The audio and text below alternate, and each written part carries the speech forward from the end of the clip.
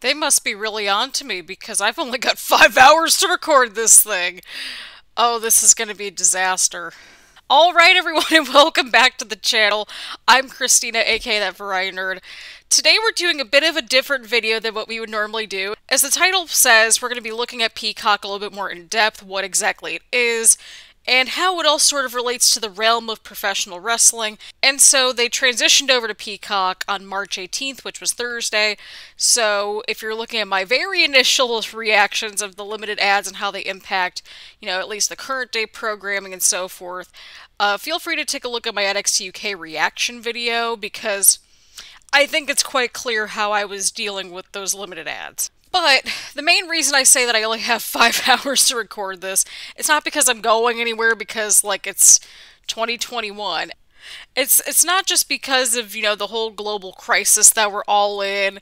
It's mainly because of the fact that, well, uh, I got this delightful email from the WWE Network while I was at the grocery store at 5:42 p.m. that pretty much is like, hey, your subscription expires tomorrow and you won't have access to the WWE network as of tomorrow. I thought we weren't getting fully booted off here in the States until April 4th. Come on. Really? So, this is one of these rare times where the sweet, sweet, chocolatey goodness of professional wrestling and WWE mixes in with my peanut butter. And by my peanut butter, I mean like, you know, my background with, you know, media, journalism, media industries, media platforms, and that sort of thing. This sort of opportunity doesn't come around that often, so I figured, you know what, I'm a wrestling fan and I happen to just be a total nerd about media and streaming platforms and pop culture, so why not? Let's just wing it. Because, I mean, after all, we've got to wing it because we've only got like five hours to record this. Well, now we're at four hours and 50 minutes. So, because of the whole time crunch situation, I'm going to do my absolute best to try to, you know, show y'all the differences and similarities with the interfaces, the costs, and all that kind of stuff. Just basic things. Maybe how it all connects, a little bit of the history.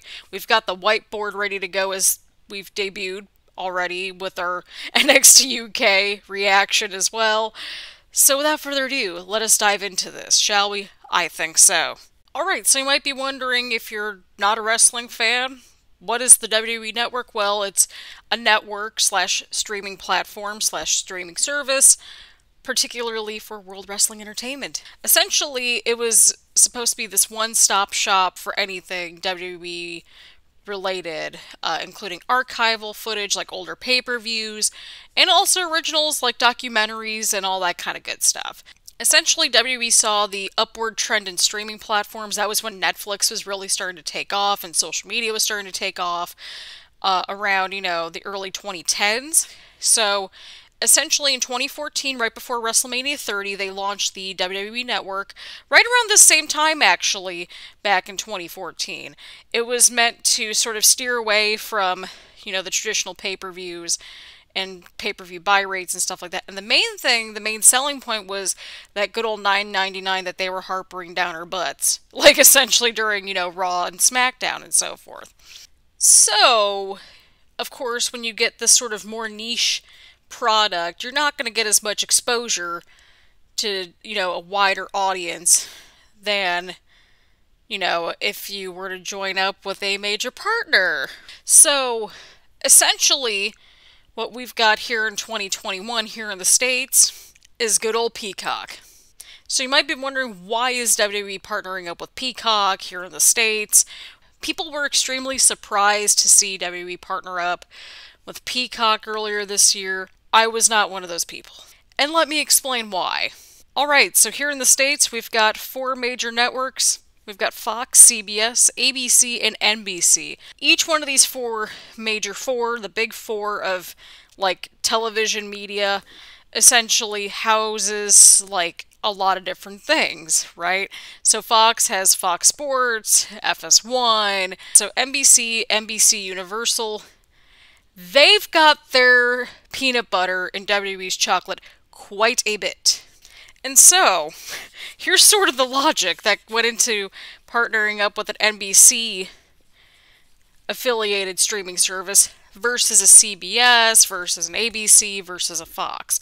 So with Fox, they've already got, you know, they've already got the network deal with SmackDown, and they were doing backstage over at FS1. So Fox technically has an app, but it's very flaky.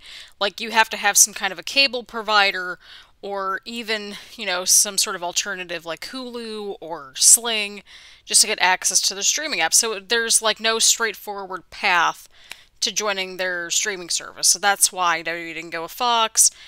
And so with CBS, they were already going through a lot of changes. They used to have a streaming platform called CBS All Access, but that transitioned to what we now know and have probably seen plastered everywhere in our ads, on our social feeds, Paramount Plus. The rebrand didn't officially take place until Paramount Plus really swapped over, at least according to Wikipedia at the time recording this, on March 22nd, 18 days ago on March 4th, 2021. So there was, you know, the remerger of CBS and Viacom. Everything's all underneath like just a few just a few little silos essentially, but then there's all these trees that are underneath them, right?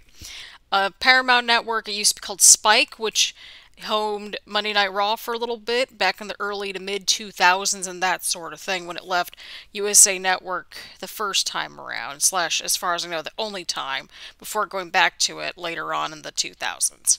So, my assumption is that because of all the changes um, and maybe the lack of structure within CBS, all access to Paramount Plus, that might have been possibly a reason why they didn't go with Paramount Plus or a CBS affiliated streaming service in that realm. So ABC is the one where it gets very sticky, all right? So it is technically a part of Disney, or at least the Walt Disney Company. There's actually a whole image online that sort of surfaces just what Disney owns. It's kind of ridiculous. So essentially, ABC is often affiliated with through Disney um, through sports with ESPN. So they've already got enough sports content kind of saturated in there. So there's that. And so that, my friends, is how we got to NBC. Now, NBC is the one where, to me, it was sort of a no-brainer. Well, my friends, let me sort of dive into this a little bit more. Let me explain to you how WWE somehow connected with NBC. All right, so again, traditionally NBC was also sort of the home. Like if you take a look back at the older days of wrestling, like back in the 80s and so forth, you know, with Saturday night's main event, it originates there. However, with the boom of cable television in the 80s and into the 90s, you had a number of television networks that started to pop up. But for the purposes of this video, there are at least three, count them three networks that WWE has sort of been affiliated with over the past at least nearly three decades almost, I would say at this point. So I've sort of broken them down by programming and all that stuff. So as you can see with E Network, which, you know, NBC, NBC Universal owns E Network, Sci-Fi, which you know that was how it used to be stylized back then because that was so cool. And of course usa network. So those are sort of the breakdowns right there. So on e you had total divas uh, total bellas which is still going. Then of course you had the sci-fi network with wwecw uh, SmackDown was over there for a little bit, and then of course the OG NXT, like when it was still a game show. And then on USA Network, you have NXT Mainland slash over here in the States. Uh, you have Monday Night Raw, that's been back over here for at least a good 10 years now, arguably. Miz and Mrs., which of course is, you know, the Miz and Maryse's reality show, and some other assorted specials. Sometimes they'll do the abbreviated Hall of Fame on there and all that stuff. It was sort of a no-brainer for WWE to go with the one of four major networks that they've, you know, invested, you know, this amount of time and energy, probably money being shared and that sort of thing they they built up a rapport with this network for a good 20 30 plus years give or take. So logically enough it makes sense for them to kind of partner up. Peacock had the advantage, one, because it was sort of the NBC affiliated streaming platform, and again, NBC, WWE, they've had this working relationship with their affiliated, you know, networks like USA Network, especially, over the course of the past few decades and so on and so forth. It was only a more natural fit, plus Peacock has already been around a year. They already had some kind of infrastructure in place to sort of transition over to that. And quite honestly, like, at least according to Wikipedia, there are, as of the end of January, so there's probably going to be a little bit of an uptick possibly, but Peacock has over 33 million users, so that is a crap ton more eyes on the network and on the product through Peacock versus the WWE Network standalone, more niche app. So, needless to say, it adds up. And again, like, I don't have that knowledge of what was actually said during those conversations or anything like that. Again, this is just, you know, my thought process and putting myself and maybe like a business decision sort of mindset right. Because it's sort of like it makes sense. You want more eyes on the product and you know you might as well milk out the deal however you can. I think it's what like five years for like one billion dollars or something crazy like that. And i know it's going to be frustrating for us fans for you know the first few months or so but do we not remember how crazy the network was like when it first launched back around wrestlemania 30 Whoo! But yeah, uh, this is the part where we are just going to dive right in and look at the user experience, you know, the major features of what's different, what's similar, and you know, maybe some maybe some positives and negatives of both because that's just how we roll around here. I'm more of a glass half full type of person. So, yeah, again, this is where my peanut butter mixes in with the chocolate. So, let's just let's get right to it. All right, so I pulled up this image here just from a quick Google image search of basically the different tiers that you get with Peacock. For the WWE Network, like their free version of it will be in the free version of Peacock right here in this first tier.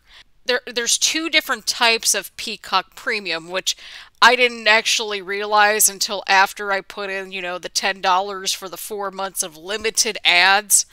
Right here, you get the limited ads version, very much like in the same artery as Hulu has, where you get $4.99 a month for limited ads, so you get like a handful of ads per show, per episode, what have you. And then you have Peacock Premium Plus, where it includes all the premium stuff, everything, with no ads. There are annual plans from what I was doing some digging into, where with if you do the limited ad route, you only pay 50 bucks for a full year, which is ridiculous but like not in a bad way, of course.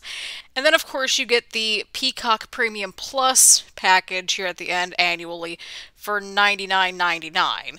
This is what you get out of it, essentially. Again, this is the office essentially as an example but the prices are still the same and there's two annual plans so you have five different options technically as to how you want to pay for peacock i think peacock slightly has a little bit more of an advantage just because there's different options and you know what? We like options here in 2021. Major difference numero uno. So we're on Peacock. There's a whole WWE section here, but if you want to watch anything live from the network, you've got to go to the channel section. And then there's like an actual list of channels. And again, this is on the desktop. This is not on a television.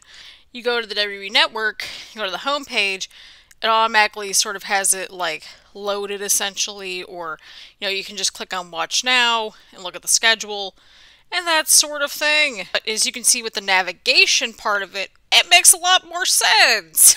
So you have featured pay-per-views raw smackdown nxt in-ring originals and watch now. With peacock you just get wwe and then they break it down into originals featured series recently added, pay per view specials. But then this is where things get a bit interesting. So, because it is indeed NBC's streaming platform, you're going to get certain things that NBC also has. So, you know, they have Young Rock over here, they've got The Rundown, they've got Fast Five, they've got the Fast and the Furious movies. And all sorts of other stuff. So, yeah, uh, and then you've got WCW series and specials, WWE Superstars, so I guess those are the, oh, their own playlists. Women of WWE, The Attitude Era, The Road to WrestleMania, No Guts, No Glory, because Stone Cold said so. okay, but those two headers actually kind of bleed into each other pretty decent, I'm not gonna lie. It's kind of a mess if you're trying to look for anything, like, specific, so... But yeah, they also have, of course, recently added, Pay per view specials. So, they've got all of them kind of clumped together. So, say for example, I'm trying to look up, I don't know, Royal Rumble. It just gives me this 34 seasons. this is this is going to bleed into the next point right here. They break everything down by seasons. I came across this um, interestingly enough with my originally it was going to be NXT UK, but I wasn't sure if that was just for the TV series or for the pay-per-views or what was going on? Because seasons is a thing like in television but not for pay-per-views at least for me anyway. That's how I mentally think about it. Like I can see how they would section it off in seasons. Like you go from like maybe you know mania to mania and that's your season right? Like that makes sense to me. With season like yeah I'm gonna go ahead and watch season 27 of the Royal Rumble. You know what I mean? It doesn't add up. You go to WWE pay-per-view Filter by all shows, it gives you the list, nice and neat and organized. I can respect that quite a bit. Go to Royal Rumble, it gives you all of them, but then you can go and do the breakdown by year rather than seasons. But yeah, they this also shows you the rollout of how things are going here in the States with Peacock.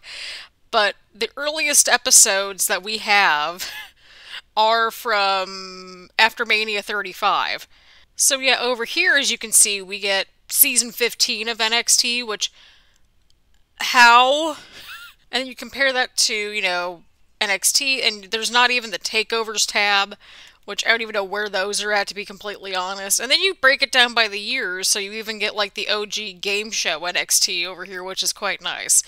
Uh, not that I'm going to go back and watch those anytime soon, but it's nice to know that they're there, but you can break it down by year versus seasons. Oh, yes, yeah, so some more food for thought, too. I actually had to look up where the takeovers were. So, you've got NXT TakeOver War Games. They're also in its own category as well. You have, you know, all these guys, right? Right.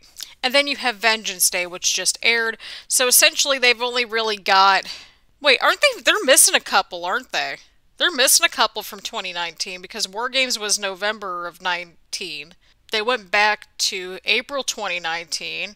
So they're missing the Worlds Collide show, like the crossover with NXT, NXT UK.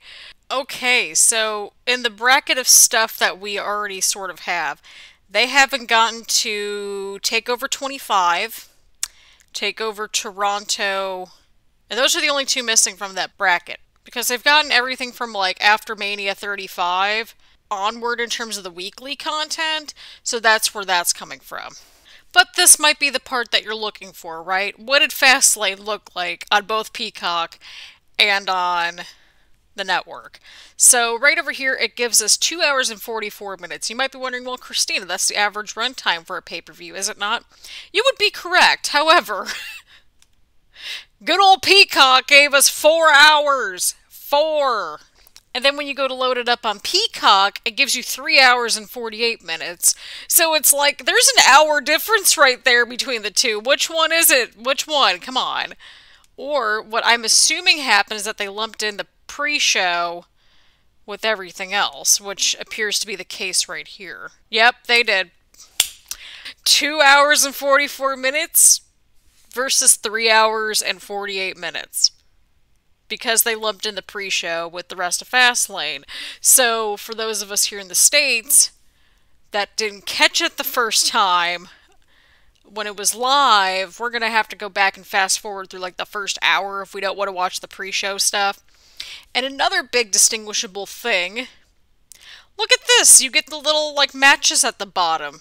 Where are the matches anywhere? Like maybe this iCard thing? Nope. Where is it, Peacock? Where the where the mar where are the markers at? Now, you, say you fire up just your regular weekly event, just so that way we can get a little bit of diversity in terms of you know the content that we're showing and so forth. We're gonna go and check out the most recent episode of NXT UK, partially so I could walk you through as to why we were a little bit salty with the ads to say the least. So, before each of these loaded, and again, I didn't want to like go into the copyright and so forth.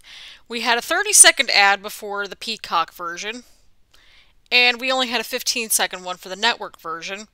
This one runs at 1 hour, 4 minutes, and 55 seconds, and this one is 1 hour 5 minutes and 11 seconds. So not too much of a time discrepancy, but it's like you would think that the times would match up.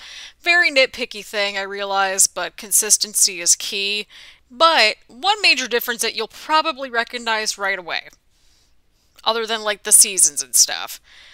Notice how there are no little dots here when you go to like click on random things.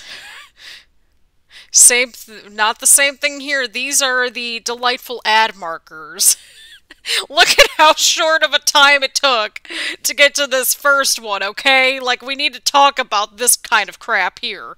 We didn't even get to the intro sequence thing yet, like the intro package or anything like that. We just got, we had the hype package, went to an ad, and then went to something else. I don't remember what it was. It was a mess where the ads were placed for this. But there are five ads interwoven in this one hour of television, which makes sense because traditionally with media, you get for every one hour of television, it's usually roughly about 15 or so minutes of ads. so just, you know, some food for thought. so either way, like, you know, the number of ads, it's fine, that sort of thing. Like, typically they're about 30 seconds or so each, which isn't too terrible, but the way that they're placed.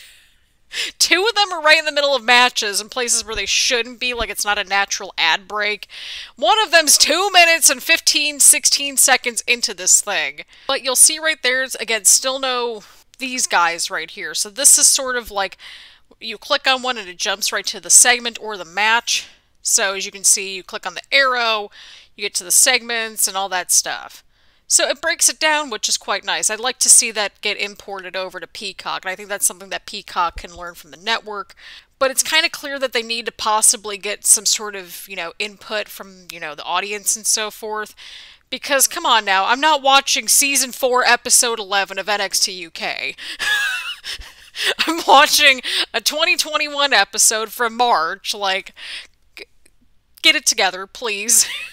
I, I, I like how there's general things. I like the general meat and potatoes of it, but again, it's missing a few things that I think could better it.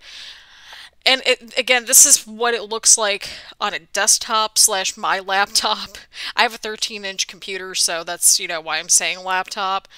Um, so it's going to vary, of course, whether it's going to, it's going to vary, all right. I mean, to be completely honest, like this sort of like layout kind of reminds me more of the Hulu setup. So I'm assuming that they sort of, you know, took some tips and tricks from uh, good old Hulu. But yeah, pretty much the laptop and television version is like fairly similar, I would say. So just more blown up on a regular television, of course. But needless to say, y'all kind of get the idea as to where things are going at, right? So again, we just want to use that as a quick example of just some of the major, major differences right there. So there's that. Also, another major difference that I noticed is that they put replay in the corner for certain things like Fastlane and the Bump, and they didn't so much with the other one over on the uh, network version because you kind of assume it's already like there, right? Like you assume it's already like it's done and over with. that is pretty much, those are some of the main key differences are the price, the user experience, uh, the layout, and the freaking ads. so yeah, I hope this gives a little bit more insight whether you're, you know, a super hardcore wrestling fan or a casual fan or not even a wrestling fan or you know you might be somebody that's you know international that might not be super familiar with what peacock is and you're probably wondering what's going on over in the states. Well uh, but hopefully this gives you a little bit more insight as to what Peacock is, what are the main differences between Peacock and the network, possible explanations other than the money, of course, that WWE might have wanted to merge a little bit with their streaming services over to Peacock, and all sorts of good stuff. So hopefully, again, this was helpful, and you know, maybe you know, if you want more of these sort of deep dive sort of things, uh, do indeed let me know because, you know, I enjoy doing some deep diving. Thank you all so much for tuning in. Leave a like, leave a comment, do all the fun stuff here on the channel.